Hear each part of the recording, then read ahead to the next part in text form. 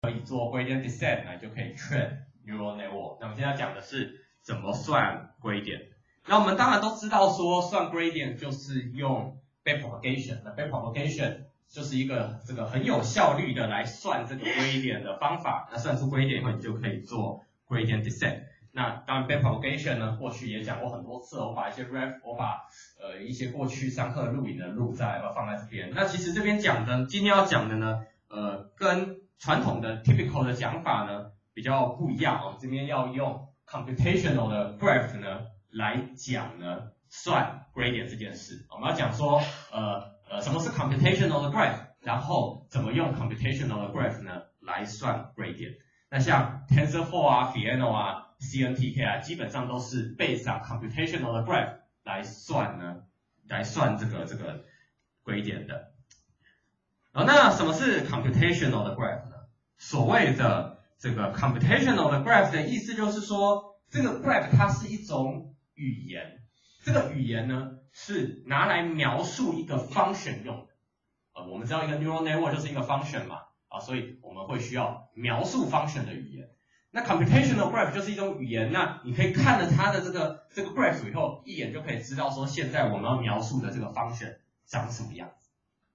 好，那在这种 graph 上面呢，其实这种 graph 有不同的定法啦，那你只要呃统一就行了。那所以在这份投影片里面呢，其实我平常在画那些 neural network 的时候，其实也没有用 computational graph 的画法来画，因为有时候那样画呢，呃会不太简洁。但是所以其实只有在这一页投影片里面呢，我们才会统一用 computational graph 的画法呢来画一个 neural network。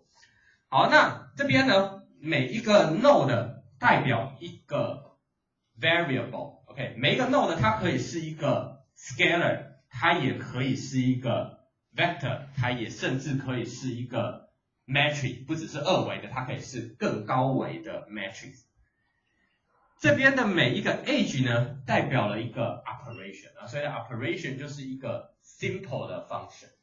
那以下举一个例子，假设我今天有一个 function 叫做。Y 等于 f of g of h of x。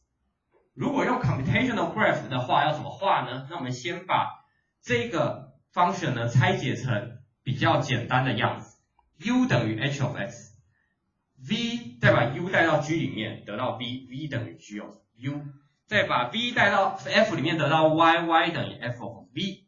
好，那我们这边呢，x 是一个 variable，把 x 带到 h 里面去，就得到 u 啊，这一条箭头就代表了 h 这个方向。那 h 连着 x 指向 u，意思就是说把 x 丢到 h 这个方向里面，我们就得到 u 这个 output。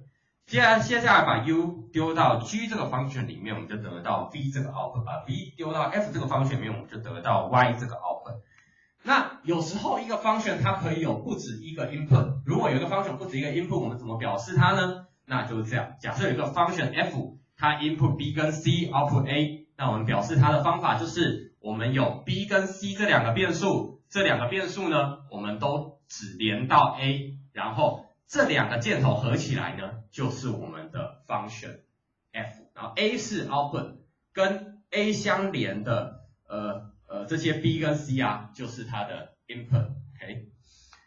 那 computational graph 怎么画呢？那我们这边再举一个例子，这个一呢等于 a 加 b 乘以 b 加一啊，这个是呃小学生的数学，小学生数学。c 等于，我们就我们就定说 c 等于 a 加 b，然后 d 等于 b 加一，然后一等于 c 乘以 d，然后你就可以把这个。Computational graph 表示出来，我们有 a 跟 b 这两个变数啊，它们是整个 graph 的呃的这个 leaf，OK，它们就它们前面没有其他东西了。那 a 跟 b 相加，a 跟 b 相加得到 c，b 呢加上一得到 d，啊，这个箭头呢代表是加一这个方向，然后 c 乘上 d 呢就得到了一，OK。好，那如果你今天有了这个 graph 以后呢，你要实际计算 a b c d e 的数值是很容易的啊，就说 a 带二，b 带一，然后你就把二跟一呢，呃，顺着这个 graph 一路呃一路让它涨上去，你就把 A 加上 B 得到 C，B 加上一得到 B 加上一得到 D，再把 C 跟 D 乘起来就得到了一。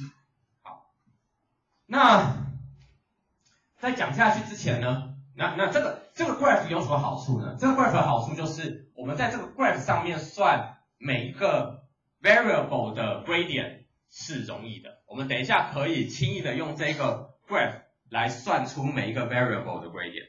但是在做这件事情之前呢，我们需要圈弱，我们需要圈弱。那全复这边是秒复习一下圈弱哦，有一个方程 z 等于 f of x，然后 y 等于 g of x，呃，z 等于这个 h of y，OK，然后呢，我呢这边呢，如果你把它的这个 graph 画出，computation graph 画出来，就是 x 有放到 G 里面得到 y，y 放到 h 里面得到 z。那如果按照圈弱，我要算底 x 分之底 z 的话怎么办呢？我们知道底 x 分之底底 z 啊，因为我们从这个 computational graph 上面我可以看到说 x 会影响 y，y 会影响 z，所以底 x 分之底 z 就是底 y 分之底 z 乘以底 x 分之底 y，这样对不对？好，那呃这边有一个 case two，那 case two 是什么呢？case two 是说 z 等于 f of s，然后呃这个 f of s 长什么样子呢？x 等于 g of s，y 等于 h of s，z 等于 k of x y。如果把 computational graph 画出来，就是 s 呃呃带到某一个方向得到 x，呃 s 带到某一个方向得到 x，s 带到某一个方向得到 y，x 跟 y 带到某一个方向得到 z。如果我们今天要算底 s 分之底 z 的话怎么办呢？我们可以从 computational graph 上面看出来说。s 影响了 x 跟 y，x 跟 y 又影响了 z，所以底 s 分之 dz 就是 x 对，就是 s 对 z 的偏微。哎，这边有写错吗？没有写错，不好意思，没有写。好，这个是 s 对 x 的偏微分乘上。呃，x s 对 x 的微分乘上 x 对 z 的偏微分，s 对 y 的微分乘上 y 对 z 的偏微分，这一个地方就代表了这一条路径，好，然后这个地方就代表了这一条路径，哦，所以今天给我们看一个 computational graph，就等于是告诉我们我们要怎么用这个圈弱来表示一个微分，哦，所以这边呢就用刚才的 example 呢来做个例子。假如我们要算 partial b 分之 partial 一，我们要算 b 对一的微分的话，怎么做呢？怎么做呢？因为 b 会走透过 c 再走到一，b 也可以透过 d 再走到一，所以 b 对一的微分有两条路径，一条是 b 影响 c，c 影响一，b 影响 c，c 影响一，一条是 b 影响 d，d 影响一，b 影响 b 影响 d，d 影呃 b 影响 d，d 影影响一。好，那如果我们今天要真的做这个偏微分的话，首先你第一件事情就是把这边每一个箭头，把每一个箭头的这个偏微分呢都算出来。呃，什么意思呢？你就算出，比如这个箭头是连接 A 跟 C 的箭头，你就算出 A 对 C 的偏微分。这个箭头是连接 B 跟 C 的箭头，就算出 B 跟 C 的偏微分。你就把每一个箭头上的偏微分呢。都算出了啊，这个很容易，因为我们其实知道 c 啊，我们其实知道每一个 variable 之间的关系所以要算某一个箭头上面的偏微分是容易的，a 对 c 的偏微分就是一，对不对？然后因为因为 c 等于 a 加 b 嘛，所以这边就是一，然后这个呢也是一，这个也是一，这边呢是 d，因为一是 c 乘以 d，所以一对 c 做偏微分会得到 d，d 对。呃，然后我们要知道 d 等于 b 加一，所以我们可以直接代说 d 等于 b 加一。那 d 对一的偏微分呢？d 对一的偏微分，因为一是 c 乘以 d，所以 d 对一的偏微分就是 c，那 c 呢就是 c 就是 a 加 a 加 b，OK，所以你可以把，你可以轻易的把这个箭头上的偏微分呢都算出来。那这个时候你要算某一个 node 上面的 variable。对另外一个 node 上面的 variable 的偏微分呢，就很容易了。举例来说，如果我们要算 b 对一的偏微分，我们就是找出所有 B 到 E 的 path，就从 B 这个 node 走到 E 的这个 node 有哪些走法，把所有的路径都找出来。你可以走这一条路，也可以走这一条路。再把一路上呢所有的你算出来的这个偏微分的值啊相乘，你要把一路上所有的这个偏微分都乘起来，走这一条路，你得到一乘以 B 加一的偏微分。走这一条路，你得到一乘以 a 加 b 的偏微分，对不对？那你就把这条路上偏微分跟这条路上的偏微分加起来，加起来，那你就得到 partial b 分之 partial e，就就结束了，就结束。你自己你可以自己 check 一下呢，看看这个做法算出来对不对？这个是很简单，随便微分一下就可以得到答案。好，我们在这边呢先休息十分钟。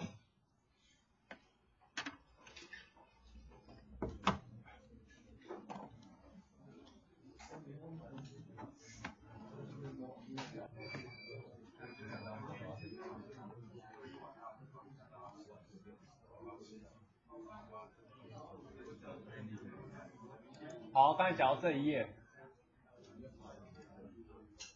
好，好，好，我们来上课吧，我们来上课吧。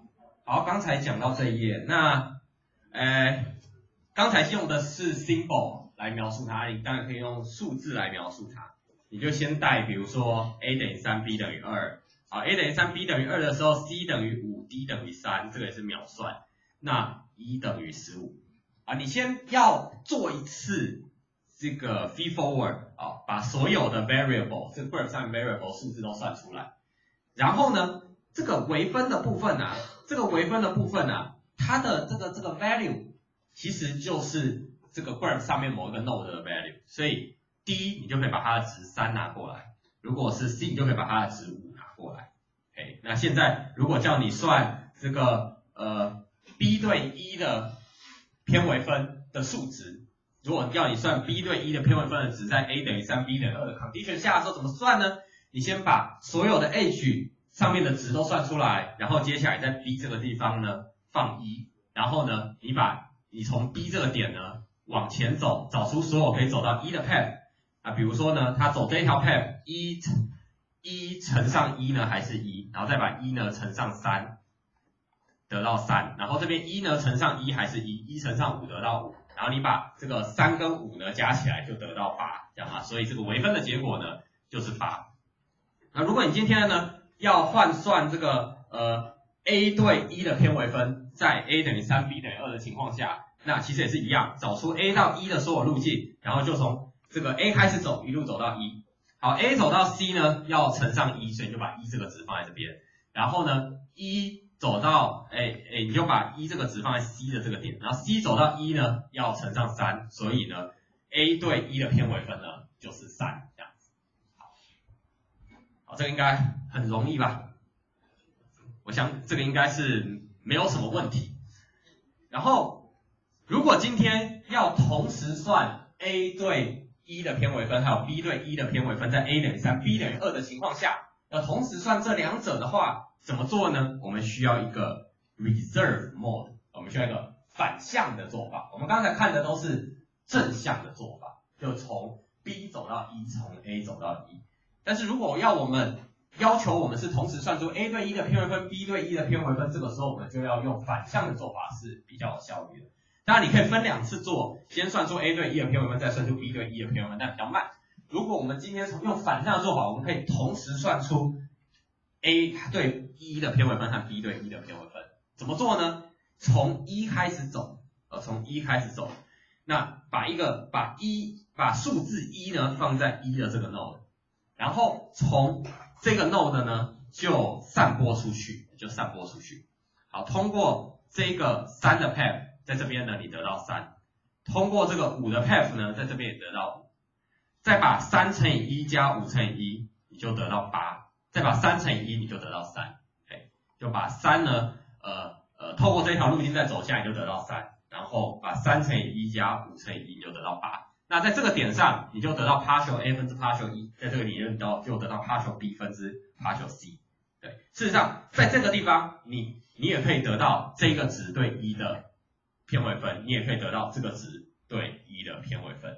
那假设今天这一个 graph 它只有一个 root，它它只有一个 root，那你从这个 root 呃呃把你从这个 root 开始走，你就可以把这个 graph 上面所有的 variable 它的偏尾分呢都一次算出来。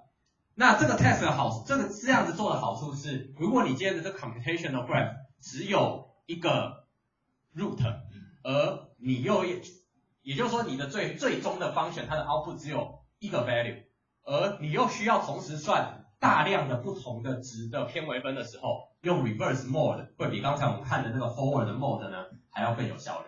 而在做 neural network 的时候，我们需要的就是这个 reverse 的 mode。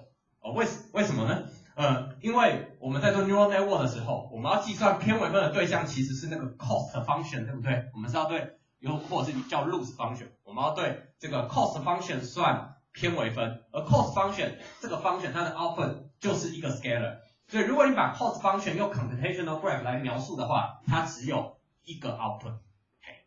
那那今天我们又要同时算这个 level 里面所有参数对 cost function 的偏微分，所以我们从 root 开始做 reverse mode，在对 cost function 算偏微分呢是比较有效率的。好，那另外一个状况是，有时候我们会有 parameter sharing 这种状况，也就是说，同样的 variable 它出现在这个 graph 数个地方，这个时候怎么算它的偏微分呢？啊，这件事情在 neural network 里面常常发生，比如说我们看 CNN，它就有 share variable，对不对？我们才刚讲过，RNN 它其实也是 share variable，它把同个 function 在整个 time sequence 上反复使用啊，它也是 share variable。呃，有 share variable 的话怎么做呢？这边举个例子，假设一个 function y 等于 x 乘上 exponential 的 x 平方，这个式子如果我们要把它用 computational graph 来描述的话，它长什么样子呢？把 s 跟 x 相乘得到 v，把 v 取 exponential 得到 u。把 u 再乘上 x 得到 y，好，那我们就得到这个这个这个这个 computational 的 graph。然后接下来呢，我们计算呢 partial x 分之 partial y 啊，如果我们要计算 partial x 分之 partial y 的话，怎么做呢？我们先把每一个 h 上面的微分呢都算出来。好，如果把这个 x 对 v 做微分，我们得到的值是什么呢？我们得到的值就是。x 等于 v 等于 x 平方嘛，v 等于是 v 等于 v，就是说你说 v 等于 x 平方微分，对 x 微分不是应该是二 x 吗？可是你现在呢，这个是比较难理解的地方，我们必须要把所有先把这个呃每一个 no 上面的 x 呢，当做这个不同的 x 来看待，这样啊，你就假设这些 x 呢都是有。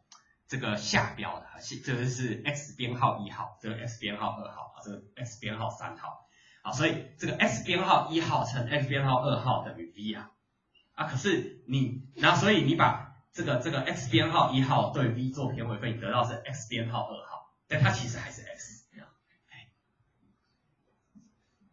好，所以这边呢也是 x，啊，这边也是 x，然后。v 对 u 做偏微分呢，你得到的还是 u，对不对？因为 v 是 exponential u 啊，所以呃呃，因为 u 是 exponential v 啊，exponential v 对 v 做偏微分还是 exponential v 啊，所以得到的值呢就是 u。那这边呢，呃，u 乘上 x 得到 y，这边做偏微分就是 x，这边呢做偏微分呢就是 u。那呃，你看这里这边这个 u 啊。u 是什么呢？u 你可以，因为 u 的值我们是知道的，u 就是 exponential 的 x 平方，那这个 u 呢就是 exponential 的 x 平方。好，那所以现在这个呃这个这个 graph 上面的每一个 h 呢，它的这个偏微分的值呢，偏微分的这个 symbol 呢，我们都算出来了。那 partial x 分之 partial y 它的值应该是什么呢？应该是什么呢？我们现在先把这三个 x 当做视同不同的 variable 来看，那这个 x 对 y 的偏微分就是从 y 走过来，也就是 exponential x 平方。那 y 呢，从这一条路径走过来，走过来，从这条路径走过来，走过来，它会得到另外两个 x 的偏微分。那 y 从这个路径走过来，你得到的是，好，而是先看下面，好，y 从这个路径走过来，你得到的是 x 乘一的 x 平方再乘 x，然后 y 从这个路径走过来，你是得到 x 乘一的 x 平方再乘 x，得到这个路径。好，那接下来呢，实际上 x 对 y 的偏微分是什么呢？我们现在有三个偏微分，它的值呢不是一样。那实际上 x 对 y 的偏微分其实就是把这三项加起来就是 x 对 y 的偏微分。哦，所以今天如果你要考虑 share variable 的 case，啊，那你可以自己 check 看看，因为这个你要做自己算偏微分还还蛮容易的嘛。嗯，这个你要算微分还还蛮容易的，你就自己呃算算看啊，看看看看对不对，看对不对。那今天如果是 share variable 的情况下呢，我们就要把同样的参数先当做有先当做不一样的参数来看，然后算完以后再加起来，OK，这样大家了解我的意思吗？你先把这三个 x 当做 x 编号一、x 编号二、x 编号三来，然后呢，再把它们的偏微分分别算出来，然后再把它们通通加起来，那你就可以得到呢，呃，x 对 y 的微微分，OK，好，这样讲这样大家有问题吗？好，那接下来就进入 neural network 的部分。刚才讲的东西是跟是 general，跟 neural network 没没有直接的关系。那现在呢，我们就要讲说，如果有一个 fully connected 的 feed-forward network，用 computational graph 来算它的微分的话，我们要怎么做？OK，那呃，我们先来很快的复习一下呃一般的讲法。一般我们说要算微分就用 backpropagation，这个 backpropagation 里面呢，分成两个阶段，一个是 forward pass，一个是 backward pass。那这个呃每一个参数啊，每一个参数啊，比如 w i j l，呃 w i j l 是 dl 个 layer 的 weight，它从 dl 减一个 layer 的 dj 个 neuron 指到 dl 个 layer 的 di 个。我们把这个 weight 对 c 呢做偏微分，那这个偏微分呢等于这个 weight 对 z 做偏微分，这个 z 呢是 i 的这一个，也就是呃这个 weight 所连到的那个 neuron 的 activation function 的 input，啊这个 z 呢是第 i 个 neuron 的 activation function 的 input，把这个 z 呢对 w 做偏微分，乘上把 c 呢对 z 做偏微分。好，那我们只需要用 forward pass 和 backward pass 分别把这两项求出来再相乘，我们就可以计算出 w 对 c 的偏微分。好，那我们现在看 forward pass W 对 z 的偏微分怎么算呢？那这边呃我们就不需要推导，我们就直接告诉大家结果。w 对 z 的偏微分就是呃前面 d l 减一个 layer 的 output，OK，就是。W 前面是从谁来的？是从 DJ 个 neuron 来的。那 DJ 个 neuron 的 output 就是 W 对 Z 的偏微分。那如果 D 最后这个 L 减一的 neuron 已经是 input 的话，那那这个偏微分的结果呢，就是 input 啊，就是 input 的 DJ 个 DJ 个带 DJ dimension 的 feature。OK，好，那所以要求到这个值，你只需要一个 forward pass，就是一般的 feed forward network 的运算，就可以把这个值求出来。啊，接下来看一下这个 backward pass。OK，。那 backward pass 呢？我们要求一个值叫做这个 error signal。那这个 error signal 呢，是我们对 d l 个 layer 的第 i 个 neuron，我们可以求一个 error signal。这个值就是 partial z 分之 partial c。怎么求它呢？我们要做一个 backward pass。那这个 backward pass 呢，就是我们要把原来的 neuron 逆转，呃，把原来的哦不是原来 neuron 逆转，把原来的整个 network 逆转。那，这个 network 的 input 就是 y 对 c 的归点。这个 network 的 input 呢，就是一个 vector。这个 vector 里面，这个 vector 呢，就是 y 对 c 的归点。把这个 vector 呢，丢给一个，丢给一排 neuron。而这排 neuron 呢，它们的 activation function 呢，并不是 sigmoid，它们是一排这个 op amplify 这样子。然后这每一个 op amplify 它放大的倍率呢，就是它的微分值就是它每一个 OP amplify，其实在正向那个 neuron 里面又对到一个 neuron，哦，那个那个那个 neuron 的 activation function 的微分值呢，就是这个 OP amplify 的那个放大倍率这样子。好，那你你把这个 gradient 呢丢到这排 OP amplify 里面，得到一排 output 啊，这个 output 呢再乘上一组 weight，这组 weight 是什么呢？这组 weight 是原来第 L 个 layer 的那个 weight matrix 的 transpose 哦，我们原来在做 forward 的时候乘上 WL，在做 backward 这就乘上 WL 的 transpose，然后再丢到下一组 OP amplify 里，然后就可以算出这个值，然后再把红色框框值和绿色框框值相乘，就得到最后微分的结果。哦，一般是这么说的。那接下来我们用 computational graph 来算一下。那在算 comput 用 computational graph 来算微分之前，我们当然要先兜出 network 的 computational graph，它长什么样子呢？那我们知道一个 network 呢，就是一堆矩阵的 operation。那如果把这一个 operation 用一个 graph 来表示它的话，那它长什么样子呢？首先 input 的地方呢是一个 variable x，还有我们需要一个 variable w1。你知道这个 variable 可以是 matrix，OK，所以这 w1 是一个 matrix。我们需要一个 variable b1。好，接下来我们先把 w1 乘 x 加 b1，w1 乘 x 加 b1 得到 z1。那所以呢，我们有一个 operation，哦，这个 operation 呢，它是吃 x 跟 w1 跟 b1，哦，它的这个 operation 呢，就是把 w 呃 w1 乘上 x 加 b，OK，这个 operation 这个有三个箭头的 operation 就是把 w1 乘 x 加 b 得到 z1，然后再把 z1 呢通过一个 activation function 得到 a1，哦，所以这个箭头代表的是 activation function，input 一个 vector z1 得到另外一个 vector a1。然后另外呢，这边又有两个 weight w2 和 b2，哦，又有两个 variable w2 和 b2，把 w2 和 b2 跟 a1 一起，再通过这个 operation 得到 z2，对，把 z2 通过 sigmoid function 得到 y，啊，这个不叫 sigmoid function 啊，就是一个这个 activation function，对，那最后比如说最后一个 layer 的 activation function 可能是 softmax。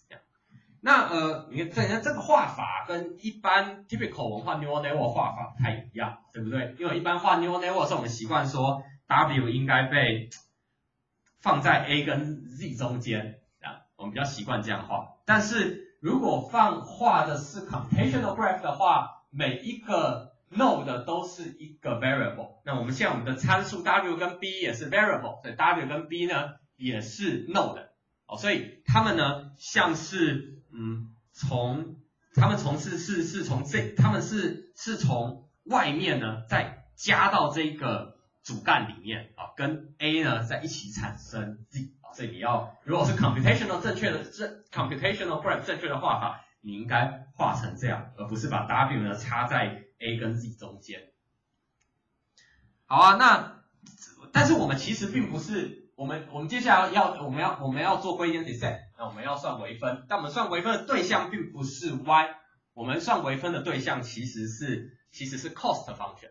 那怎么算 cost function 呢？cost function 就是我们这边有另外一个 variable y hat，y hat 代表的是它是个 vector，它代表的是标准答案。那我们把 y 和 y hat 带到一个 function l 里面，得到一个值 c。那这个 l 呢，就是你的呃，loss function 看你要怎么去 evaluate 这个 y hat 跟 y。你如果是一个 regression 的 problem，你或许会选择这个呃 square loss。如果你今天是 classification 的 problem，或许你会选择 cross entropy 等等的。你可以这边就 depend on 你的 case case，你会选择一个适当的 l。那我们就是用这两个箭头呢代表 l 这个 function。好，那接下来我们就是要计算 W1、W2、B1、B2 对 C 对最后这个 C 的这个偏微分。那注意一下，C 是一个 scalar，对所有的 network 来说，最后它的那个 cost function 的 output 那个 loss loss 的值，那个 loss 那个 value 它都是一个 scalar。哦，所以你 input 很多很多东西，你 input 很多东西，但 output 最后就是只有一个数值而已。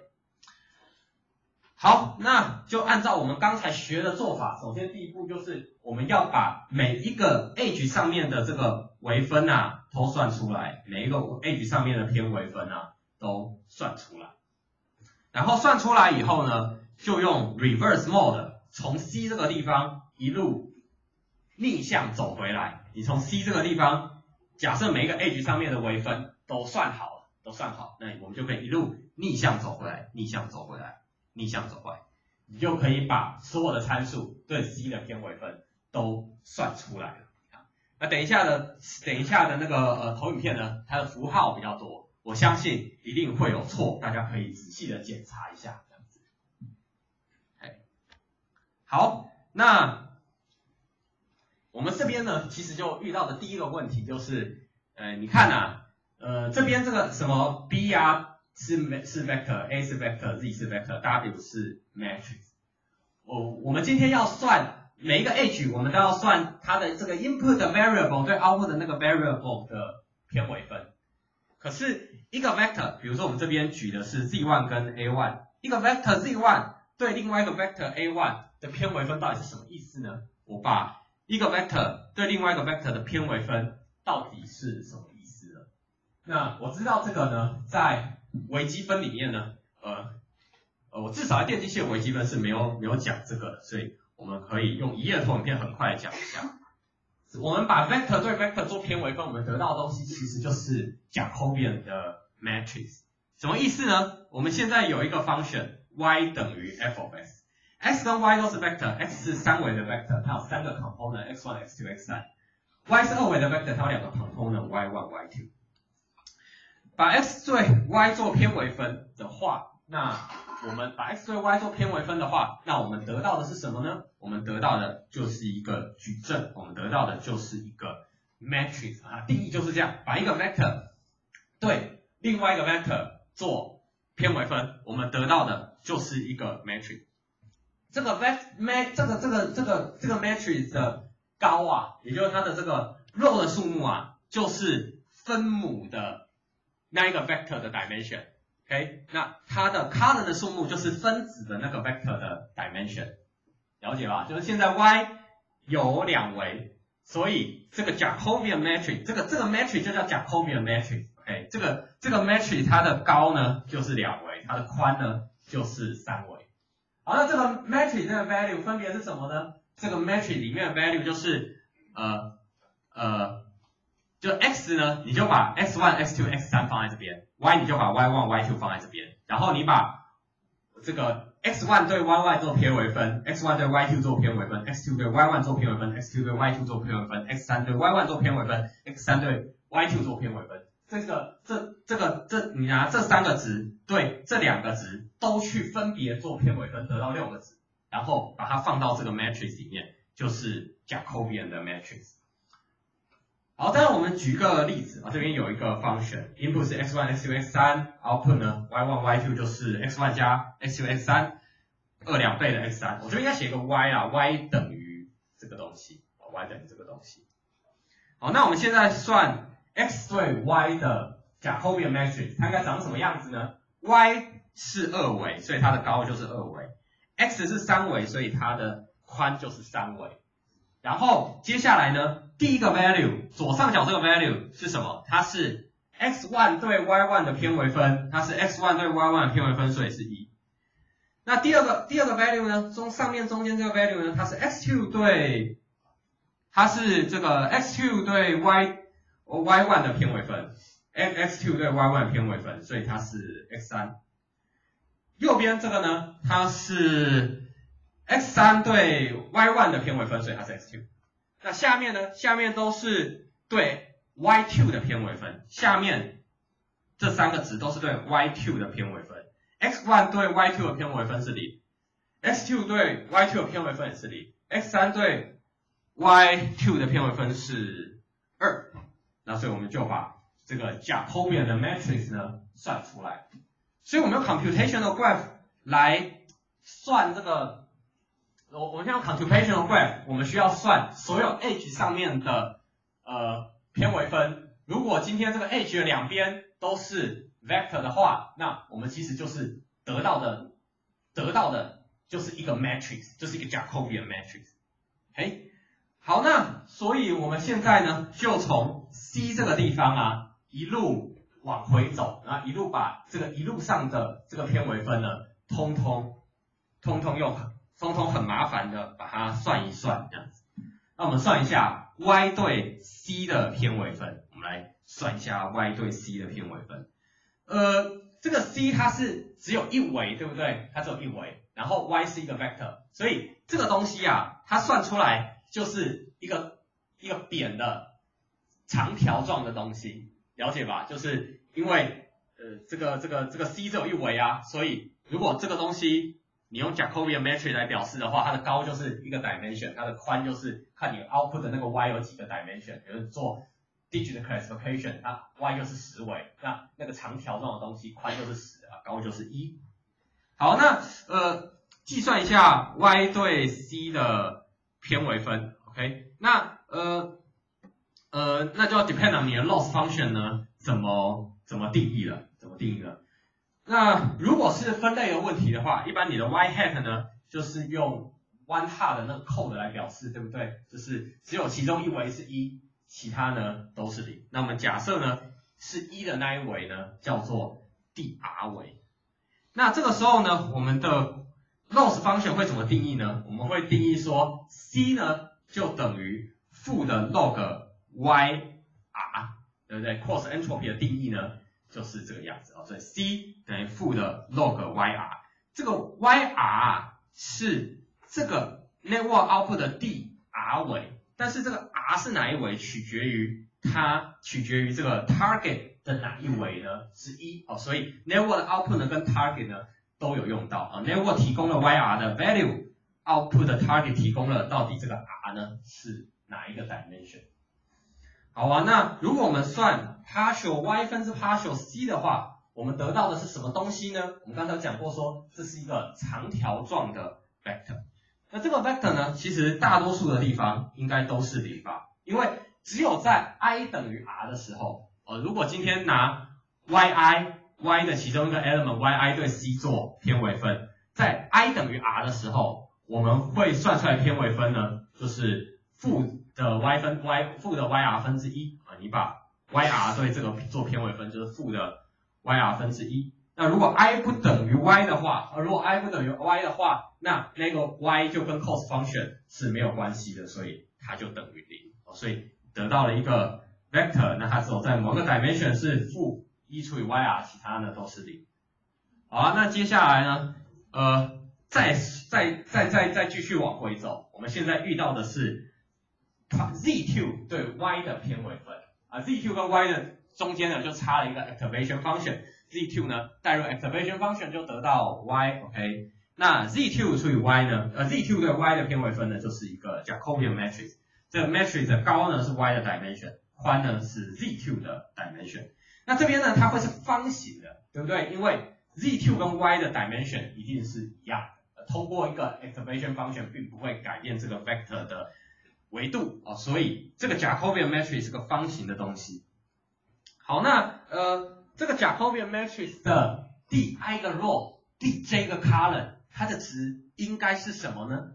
第 i 个 row 第 j 个 column 就是呃 partial yi 除以 partial z2 的第 j 位，OK，就是 row 是由呃分母来决定，column 是由分子来决定。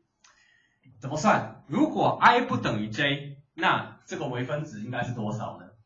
如果 i 不等于 j，这个微分值是不是应该就是零呢？因为呃 zj 跟 yi，如果 i 不等于 j，zj 跟 yi 是八竿子打不着的东西。如果你的 activation function 是比如说 sigmoid 呀、什么 ilu 啊那些，通通都是八竿子打不着的东西。OK，所以就是零。OK，那如果 i 等于 j 呢？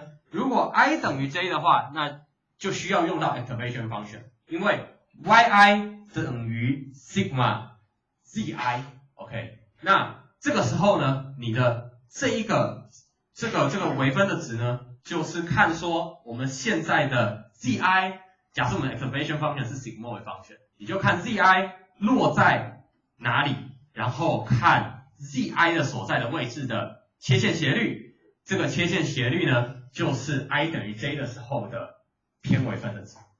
好，所以总体来说呢，总体来说，今天这个呃 partial zq 分之 partial y 呢，它是一个 diagonal 的 matrix。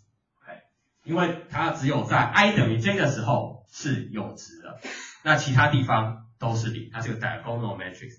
那再来就是，如果今天用的不是 sigmoid function，是一个 softmax 呢？我们在 output 的时候常常会想要用 softmax function。如果是 softmax function，你觉得它还会是 diagonal 的吗？OK，给给给大家三秒钟的时间想一下。好，如果今天这个这个 sigma 换成 softmax 的话，它还是 diagonal 的吗？你觉得它是 diagonal 的同学举手一下。哎，你觉得它不是 diagonal 的同学举手一下。好，谢谢谢谢。好，大大多数同学觉得它不是 diagonal，没错，它如果今天这边换成 softmax 的话，它就不是 diagonal 了。为什么？因为今天在做 softmax 的时候，z 的每一个 dimension 都会影响到 y 的每一个 dimension，所以就不会有这种 i 不等于 j 微分就是零的状况，没有这种状况。所以如果今天换成 softmax，它就不是 diagonal 了。好啊，那。接下来就是继续一路算下去啊，一路算下去。我我这边把那个 bias 都拿掉了，让它比较简单一点啊。所以 z q 等于 a1 乘 w q，这个 z q 跟 a1 和 w q 的关系呢是这样子一个相乘的关系。我们先算 partial a1 分之 partial z q，这个可能是比也许这个比较好算一点。好，那。我们得到我们这个这这这个东西是一个 Jacobian 的 matrix，它的宽是 a 的宽，OK，它的高呢是呃 z 的 z 的宽，它 z 有多少 dimension，它的高呢就是多少。现在要问的问题就是第 i 个 row 第 j 个 column 它的值应该是多少呢？第 i 个 row 第 j 个 column，也就是 partial a j 分之 partial z i，它的值应该是多少呢？那这个很容易，你就把这个，诶诶，z 跟 a 的关系啊，写出来，写出来，这我们在第一堂课的时候讲过，把它写出来就是这样，OK，那写出来你就会发现说，zi，zi 等于呢这个 a one 乘上 w i one，我们说 w i one 就是一指向 i 的意思。加上 a two 乘上 w i two，一直加到 a n 乘上 w i 嘛，我们统统加起来就得到了 z i。哦，所以如果把 z i 对 a j 做偏微分，那这边里面这边里面会有一项是 w，这边里面会像是 w i j 乘上这个 a j 嘛，啊，所以如果你把它对 a j 做偏微分的话，那你得到的就是 wij，所以我们得到的就是 wij，哦，所以第 i 个 row，第 j 个 column，我们得到的就是 w 的呃第 i 个 row，第 j 个 column 的值。那所以这一个 matrix 不正好就是 w2 吗？对不对？因为它的第 i 个 row，第 j 个 column 就是 w。Two 的 di 个 row d j column，所以这一个讲后面 matrix 正好就是 w two，我就把它换掉。好，接下来我们遇到一个麻烦的问题了，我们要把 w two 对 z two 所偏微分算它讲后边 matrix。那这个 w two 它是个 matrix，我们可以假设它是一个 n 乘以 n 维的 matrix。如果它是一个 n 乘以 n 维的 matrix 的话，那如果它是 n 乘以 n 维的 matrix，那显然 z2 就是 n 维，a1 就是 n 维。呃，我们这边可以把 w2 当做一个 vector 来看的，其实是这样子的。这边我们可以把 w2 对 z2 的偏微分看作是一个 tensor，看作它是一个有三维的东西。但是我知道说，因为在我的线性代数里面没有讲过。二超过二维的 tensor 的运算，这样，所以也许你没有办法接受这样的运算，所以我们就呃把它当做说这个 w2 呢，它是一个 vector，它的 dimension 就是 n 乘以 n 维，它是个 n 乘以 n 维的 vector，这样做会让算出来的结果有点不 elegant。如果你用 tensor 来考虑它的话，用三维的 matrix 来描述。这一个偏微分的话，结果会比较 elegant。如果是二维的话，硬把它弄成二维，感觉没有那么 elegant。不过也也就只好这样子了。好，那这个 W2 对 Z2 的偏微分它长什么样子呢？这个宽啊，宽是 W2 的宽啊，W2 本来是个 measure，把它硬拉成一个 vector，所以它是 m 乘以 n 维，啊高呢是 m 维。那呃，那那现在呢，Wij 对 Zi 的偏微分是什么呢？其实我们只要算出 Wij 对呃。我们只要是，我们就是算一下这个 Wij 对 Zi 的偏微分。那 Wij 对 Zi 的偏微分放在这个 Jacobian matrix 的，放在这个 Jacobian matrix 的哪一个位置呢？它的高呢是第 i 个 row row，OK，它是第 i 个 row，因为分母的地方是有下标 i d i 的 row，分子的地方是这个，呃，因为我们把这个 ij 啊拉硬拉成值了啊，所以。分，所以这个这个这个 column 的 index 就是 j 乘以一乘 n 加上 k，OK，OK，好，因为这个 w 呢，它的宽是 n，所以这边就是 j 乘 j 减一乘以 n 加上 k。好，如果今天 i 不等于 j 的时候，会发生什么事呢？如果今天 i 不等于 j 的时候，如果 i 不等于 j 的时候，你看这边这个 zi 啊，只跟呃，跟 Wi 有相关的 weight 是有关。呃，如果今天这个 i 不等于 i i i 不等于 j 的话，那这个 Wij 跟 Zi 就是没半毛钱的关系，所以它的偏微分呢就是零。如果 i 等于 j 的话，它们就变得有关系了。如果 i 等于 j 的话，下面这一个 j 呢换成 i 的话，下面这个 j 呢换成。下面这个 j 呢换成 i 的话，它们就有关系了。那这时候你微分算出来的值呢，会是 a 的 d k 维哦，会是这个 a one 的 d，会是这个 a one 的 d k 维这样子。可以好。那接下来呢，我们就要把哦这边只是想讲一下，说没办法没有用天色讲。哎，好，那呃。接下来呢，我们那那这个东西应该长什么样子呢？这个东西大部分的地方都是零，只有少部分的地方呢是有值的啊，少部分地方是有值啊。这个值呢跟 a one 的值是有关系的，这个值跟 a one 的值是有关系的。那这个 a one 的值到底会出现在哪里呢？这个有点难解释，你自己回家想想看。这个 a one 的值呢，这个 a one 的值呢会出现在这样子的地方啊，这边是 a one。然后这边是 a one 啊，这边是 a one。好，那有了这些以后，其实接下来做的事情就你就都知道了。我们把这一项 z one 对 a one 的偏微分也算出来。我们把我们也可以顺便算一下 s 对 z one 的偏微分，算这一件这个东西呢，呃，用不上。然后呢，算一下 w one 对 z one 的偏微分，它是长的是这个样子。好，那接下来。假如我们要算，比如说 W one 对 C 的偏微分的话，怎么做呢？我们就一路乘过来，一路乘过来，我们把 partial y 分之 partial c 乘上 partial z2 分之 partial y，这个是个 matrix 哦，这个是个平躺的 vector，它是个它是个平躺的东西，它是一个长条状的东西啊，这是一个 matrix，再乘上 W two，再乘上 W two。再乘上 z one 对 a one 的偏微分，再乘上 w one 对 z one 的偏微分，把这一路上的东西都乘下来，会得到什么呢？你知道把这个一路上的东西乘下来，它的高就会是最左边的这一个 matrix 的高嘛？啊，最左边这个 matrix 是长条状的东西，它是高是一，哦，得到结果高是一。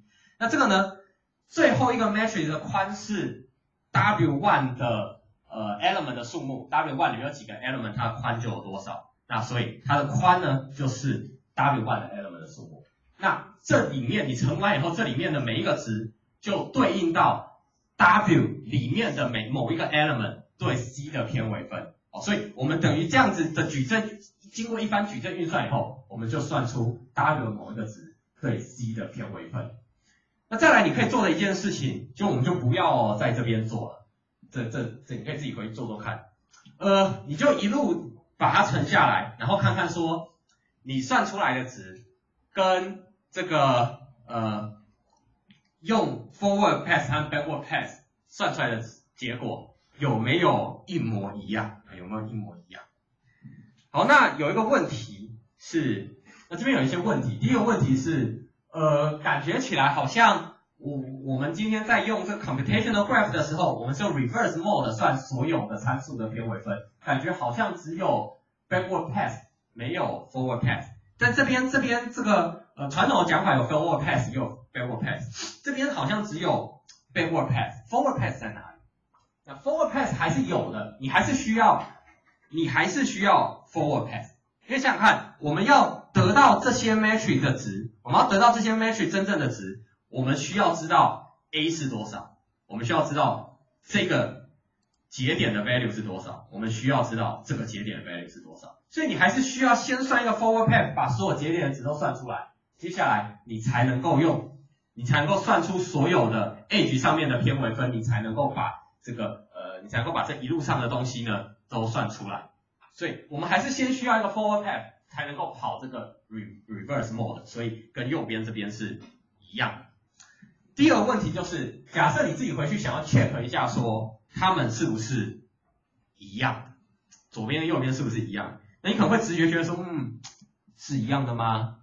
嗯，右边这里有 transpose 啊，你有没有发现这里有 transpose，这边都有一堆 transpose，有都有 w w l 的 transpose 啊，transpose，这边嗯没有 transpose，你一路，你比如说你要算这个偏微分，你一路乘下来的时候，你会乘 w two 跟这个 w two 没有 transpose。怎么会这样呢？怎么会这样呢？也有可能是算错了这样子，对啊，其实其实没有没有算错这样，这个这个是这样子的，因为我们我们算出你你自己回去 check 一下，我们算出这个值以后，我们还要跟它相乘，我们要跟它相乘，那这边的 delta 是一个 vector，这边的 a 呢也是一个 vector，那你把这两个 vector 相乘以后，要得到一个 matrix，这个 matrix size 跟跟那个跟那个 mat weight weight matrix 那个 w 的 size 是一样的。这个时候你需要对 backward pass 得到的这些 delta 先做 transpose，才能够跟左边的 a 呢乘在一起。啊，所以做完 transpose 以后呢，这边这个这边这个式子里面 w transpose 就不见了。所以左边跟右边算出来的结果呢，会是一样的。好，那我们在这边呢，呃呃，再休息十分钟好了。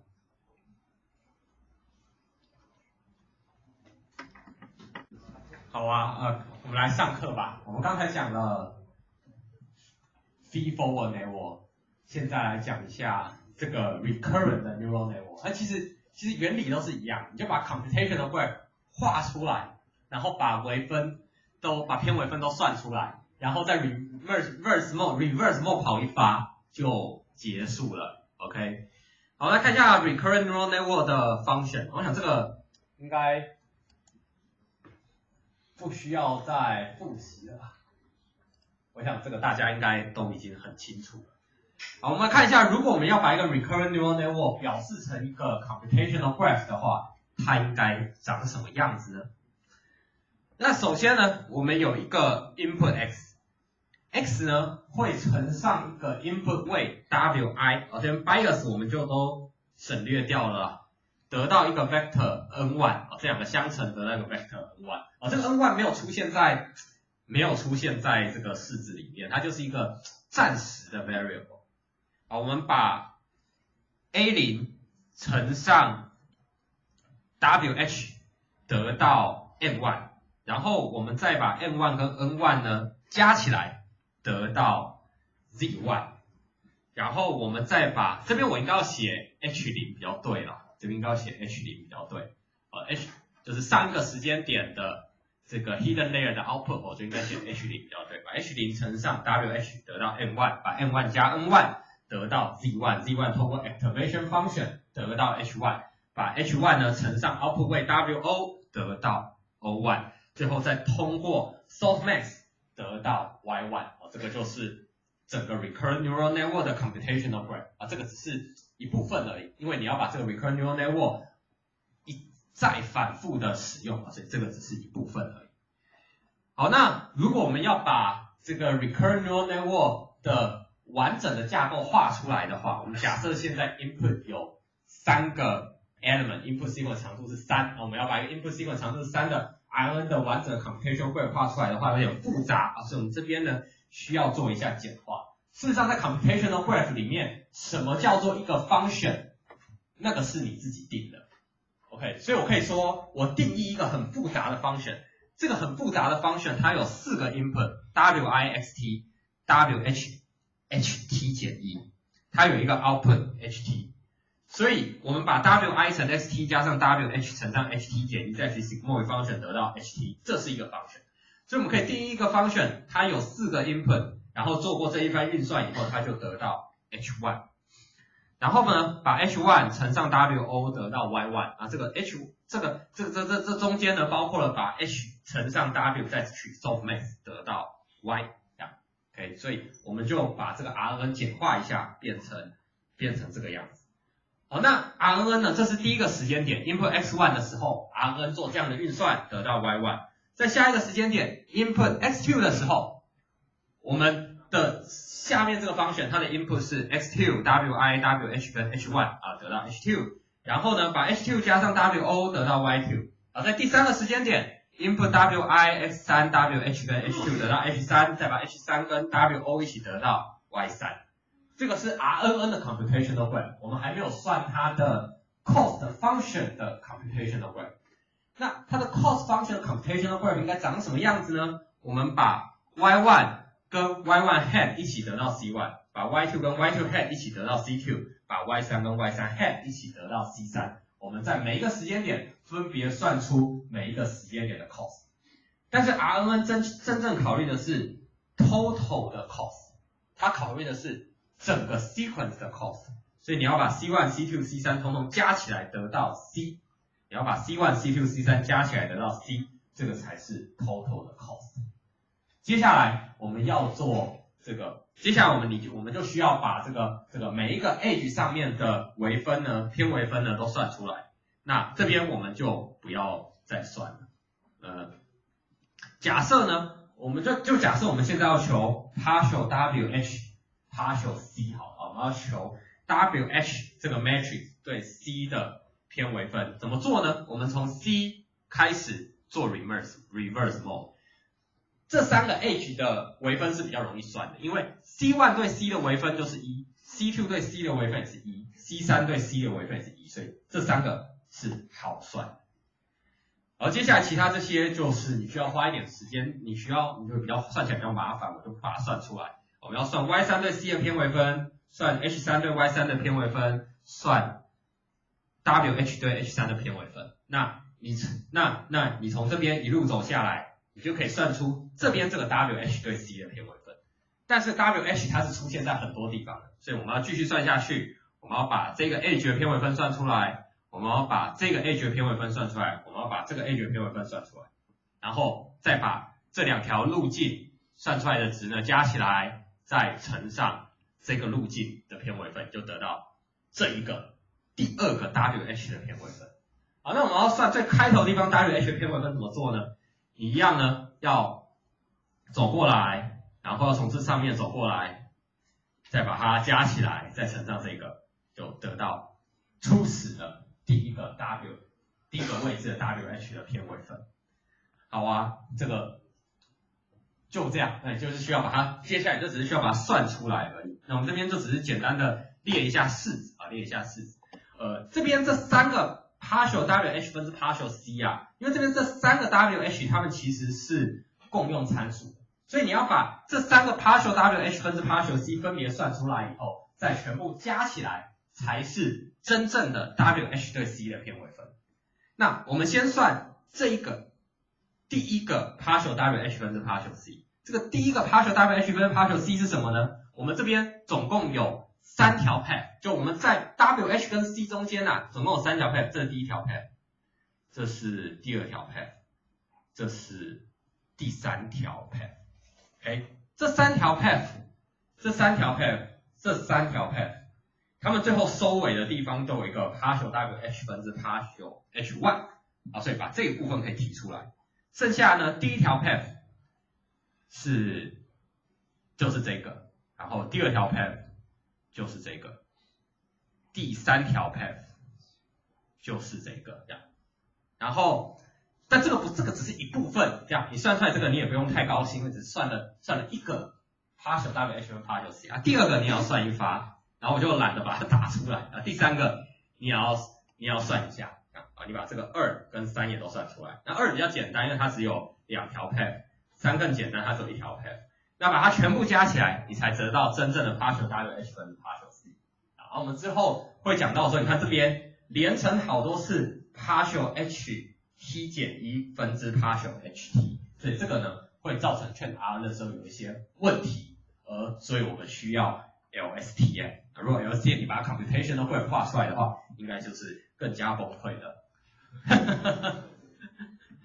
好，那这个是 reference 啊，然后呃。六点三，呃，这个这个这个呃，那个教科书六点 chapter 六点五有讲 computational graph，然后这另外还放了两个比较清楚的 blog 给大家参考。